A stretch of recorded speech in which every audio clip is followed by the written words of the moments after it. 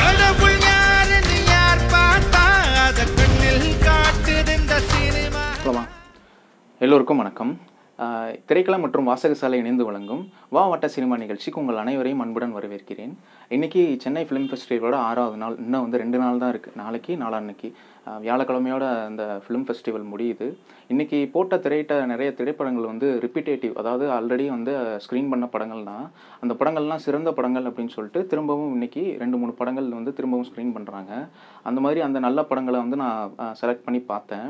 இன்றைக்கி நல்ல கூட்டம் அப்படின்னு தான் சொல்லணும். ஏன்னா திரைத்துறையில் இருக்க நிறைய பேர் உதவி இயக்குனர் ஆகட்டும் கேமராமேன்கள் ஆகட்டும் இந்த மாதிரி ஆக்டர்ஸும் ஆகட்டும் அப்படின்னு சொல்லிட்டு கூட்டத்தில் நிறைய பேர்த்த வந்து பார்க்க முடிஞ்சது.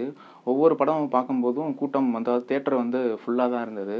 அந்த மாதிரி தான் இன்றைக்கி வந்து ஃபெஸ்டிவல் இருந்தது. இன்றைக்கி வந்து நான் ரெண்டு படங்களை பார்த்தேன். இந்த வா வாட்டர் சினிமா மூலமாக இந்த நிகழ்ச்சி மூலமாக எனக்கு வந்து ரொம்ப சந்தோஷமான ஒன்று என்னென்னா நான் பார்த்த படங்களை வந்து நிறைய பேர்த்திட்ட வந்து அதை பற்றி பேசுகிறேன் அப்படின்றது எனக்கு ரொம்ப சந்தோஷமாக இருக்குது இன்றைக்கி அந்த மாதிரி ரெண்டு படங்களை அந்த சந்தோஷமாக நம்ம வந்து நான் எக்ஸ்பீரியன்ஸை ஷேர் பண்ணிக்கிறேன். முதல் படம் the dog didn't sleep last night இந்த படம் வந்து ரெண்டாயிரத்தி இருபதில் ரிலீஸ் ஆயிருக்கு. ஆப்கான் நாட்டு படம் இது.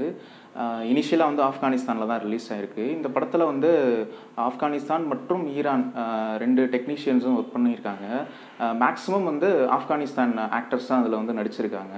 இந்த படத்தோட கதை அப்படின்னு பார்த்தா ஆப்கானிஸ்தானில் தான் நடக்குது. அங்கே தாலிபான்கள் என்ன பண்ணிடுறாங்கன்னா ஒரு பள்ளியை வந்து எரிச்சிடுறாங்க ஸ்கூலை எரிச்சிடுறாங்க.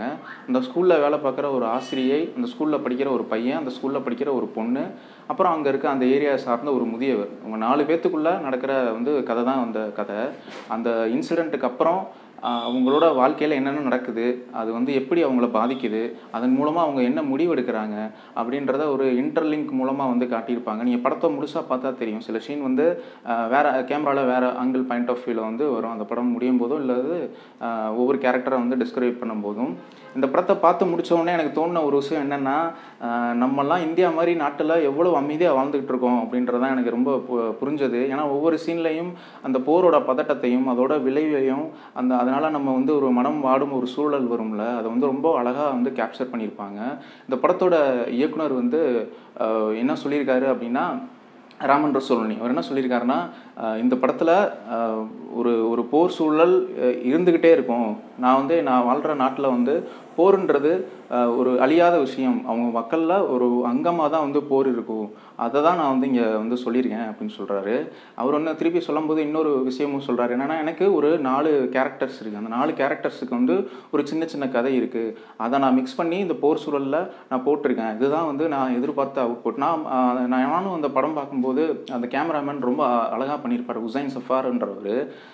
வந்து அந்த உணர்வுகளை ரொம்ப அழகாக கட்டியிருப்பார்.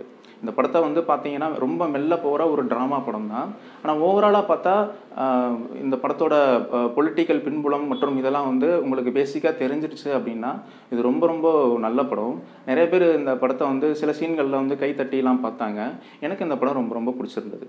அடுத்த படம் ஜெயில் பிரேக் பேக்ட் இந்த படம் வந்து ரெண்டாயிரத்தி இரு இருபதில் ரிலீஸ் ஆயிருக்கு. இது ஒரு ஸ்பானிஷ் மொழி படம். இந்த படம் முழுக்க முழுக்க உண்மை சம்பவத்தை அடிப்படையாக வச்சு தான் எடுத்திருப்பாங்க. இந்த படம் பார்த்து முடித்தோடனே வந்து உங்களுக்கே வந்து ஒரு கம்யூனிசம் ஃபீல் வரும். ஏன்னா அந்த படம் ஃபுல்லாமே வந்து கம்யூனிசம் தான் பேசுவாங்க. இந்த படத்தோட கதை அப்படின்னு பார்த்தா சிலியில் நடக்குது. சிலியில் வந்து ஒரு அரசியல் மாற்றம் நடக்குது. அதன் மூலமாக இராணுவம் வந்து ஆட்சி கை ஆட்சியை வந்து கைப்பற்றிடுறாங்க. அதனால் என்ன நடக்குதுன்னா ஒரு நூற்றுக்கும் மேற்பட்ட மக்களை வந்து பொலிட்டிக்கல் பிரிசனர்ஸ் அப்படின்னு சொல்லிட்டு சிறையில் அடைச்சிடுறாங்க. அங்கேருந்து அவங்க எப்படி தப்பிச்சு போனாங்க அதுக்கப்புறம் என்ன நடந்தது? அதுதான் வந்து கதையோட ஒன்லைன் அப்படின்னு சொல்லலாம். இந்த படத்தில் கம்யூனிசம் சொட்ட சொட்ட ரெண்டு பாட்டு இருக்குது அது வந்து எனக்கு நான் எதிர்பார்க்கல. ஏன்னா பொதுவாக நான் இதுவரை சோஃபா பார்த்த வந்த எல்லா படங்களும் வந்து டயலாக்கையும் வந்து ஸ்க்ரீன் ப்ரெசன்ட் அந்த மைம் மாதிரி தான் வந்து பார்த்தேன். ஆனால் அந்த படத்தில் வந்து இசை ரொம்ப ரொம்ப சூப்பராக இருக்கும். அது பாட்டு வரும்னு நான் எதிர்பார்க்கவே இல்லை.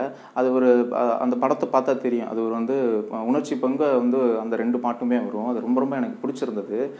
இந்த படத்தில் அதான் முன்னாடி சொன்ன மாதிரி கம்யூனிசம் பேசுகிறோம் அதை வந்து குறியீடாக தான் சேகுவர் வருவார் மிடில் காஸ்ட் அங்கங்க வருவாங்க. அது வந்து டோட்டலாக அது வந்து ஒரு பொலிட்டிக்கல் ஃபிலிம் ஃபுல்லாக வந்து கதைக்களம்னு பார்த்தா ஜெயில் தான்.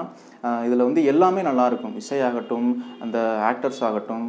களம் வந்து ஜெயில் ஆனால் கேமரா ஒர்க்கு ரொம்ப சூப்பராக பண்ணியிருப்பாங்க குறிப்பாக வந்து வசனம் வந்து நான் குறிப்பிட்டு சொல்ல எனக்கு ரொம்ப பிடிச்சிருக்குன்னு அதில் ஒரு வசனம் வரும். ஜெயிலர் கேட்பார் ஒரு சிறை கைதிகிட்ட. உள்ளே யார் இருக்கா அப்படின்னு சொல்லிட்டு அதுக்கு அந்த கைதி சொல்லுவார் உள்ளே உங்கள் மொழியில் சொல்லணும் அப்படின்னா தீவிரவாதி இருக்காரு அப்படின்னு சொல்லுவார். அந்த இடத்துல வந்து எல்லாமே ரொம்ப கைத்தட்டி பார்த்தாங்க.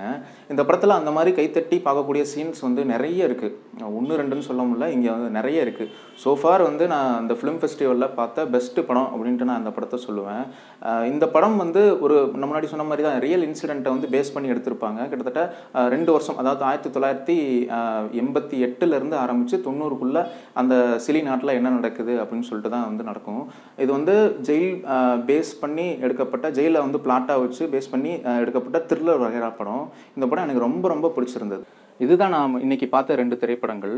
நாளைக்கு இன்னும் நிறைய படங்களை பார்த்துட்டு மீண்டும் இந்த நிகழ்ச்சியில் சந்திப்போம். அதுவரை உங்களிடமிருந்து விடைபெறுவது தாமரை.